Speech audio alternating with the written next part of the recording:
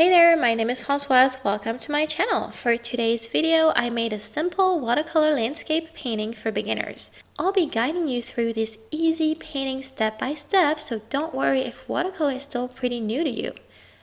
I'm working on a 5 by 7 piece of watercolor paper, and I'll be using paintbrushes of different sizes today. I linked all my supplies in the description below, so feel free to check them out.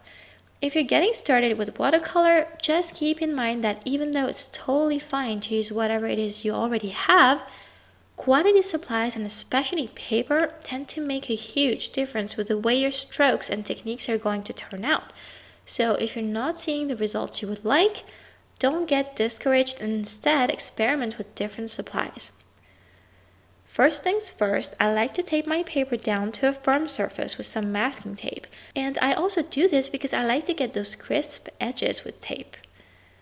I was looking for originality for this painting since I did it for a challenge on Instagram based on the theme Lost in the Woods.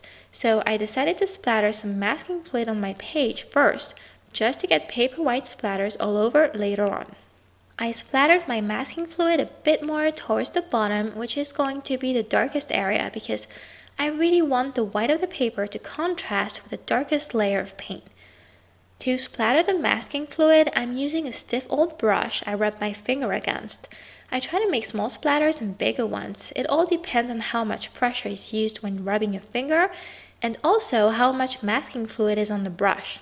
If you don't have masking fluid, you can do this step last with white gouache or with a white gel pen on a dry surface and you will get a similar look. Once the masking fluid has dried, I wet my paper generously with clean water and a big brush. It doesn't really matter what size your brush is, but bigger is always better when working on a large surface. So I wet the paper evenly and I try to avoid any puddles. Now it's wet, you want to start painting right away.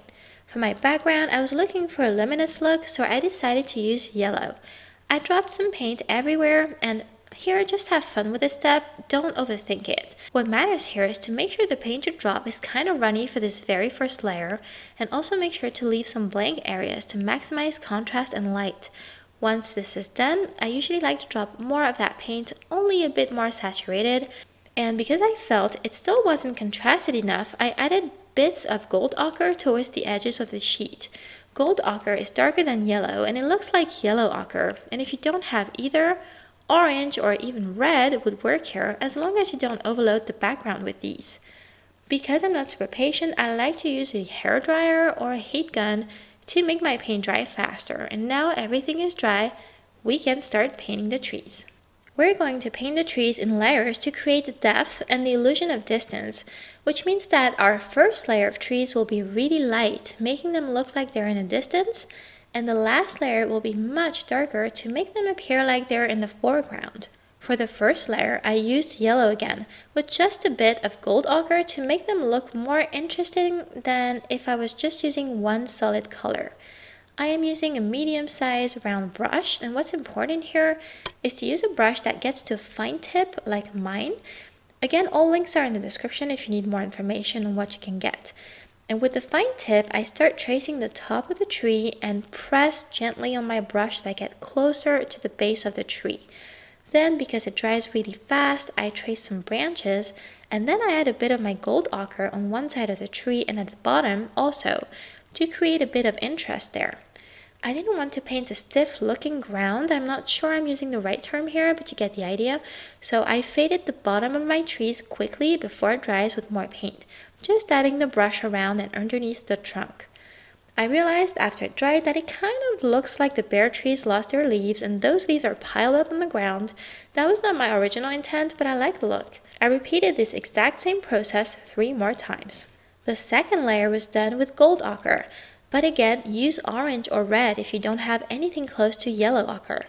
The difference with this layer is that I made those trees a bit higher, a bit darker, and for that I just used less water and more paint in my brush, and I added a bit of a color called Indian Red.